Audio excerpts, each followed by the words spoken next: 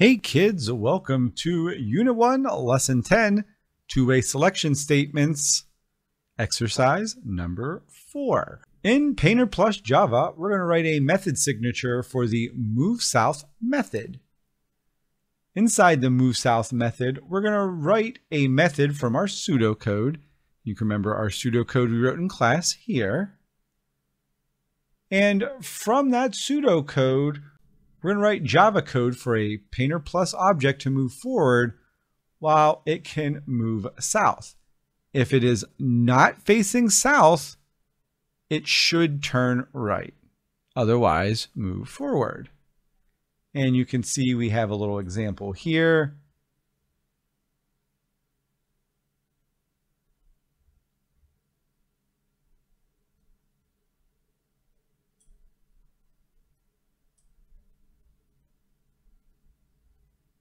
So it looks like it's the old code we wrote the other day, which had the sprite pickup buckets. And then if it gets down here and if it can move south, it will. Hmm. We have our little helpful hints right there. I think we can do it without it. Let's go up here and start writing this out. So first thing I know I need to be in my Painter Plus. I'm going to be after my last method, and I left a big gap here, so that was very helpful. And what I need to do is write the method signature. And the method signature here for move south is going to be public void move south. And we need our curly cues. So that is my method signature for my move south method. Let's take a look at this pseudocode and what it wants us to do. And the key word here is not facing south. While we can move south, if not facing south, turn right, else move. Long as we're not facing south, I want you to move. Otherwise, we'll have you turn right. That doesn't sound too hard to write.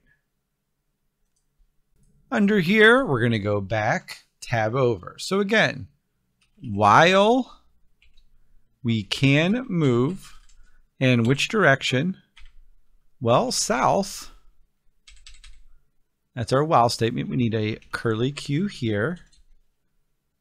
So while we can move south, if we're not facing south, so is not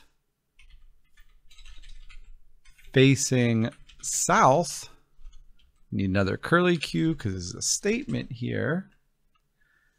We are going to turn right. So as long as we're not facing south, we're going to turn right. And this little curly Q is attached there, so we have to come up here with that one. Else, well, else we just want to move, right? Let's give us a little room here. Ooh, we have a bunch of curly cues down there. We're going to move. And let's clean this up just a little. And then this is my main. And I'm going to comment this right here is just main. This just helps me track it in the future. And let's just comment this right here as well. So this one right here is move sprite south as long as it can move south. Else, turn right. That seems pretty good to me. Let's go over here. We have to test it. And we have to call this method. So we're going to go to my painter. And this time we're going to do move south like that. That means my first method should run, get me to here, and then my move south method should run after that and take me all the way to the bottom. Well, let's see if we're right, kids. Oh, we have a spelling error. And it looks like I have an uppercase E there. I'm going to take it as, oh, that's my issue. And you can see as soon as we changed that, it went to pink. So that looks better. classic Rhodes spelling error. Let's see if there's anything else here. Nope, looks pretty good. Let's run. I think this is going to be good after this.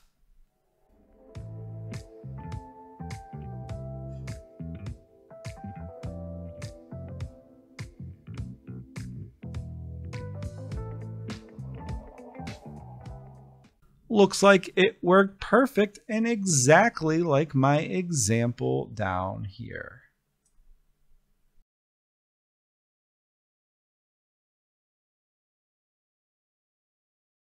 Key takeaways from this lesson, kids.